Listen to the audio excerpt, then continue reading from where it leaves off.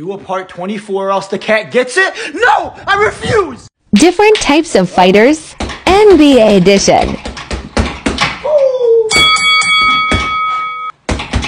Giddey hit with a tough jab. I think he just needs to slow down and breathe.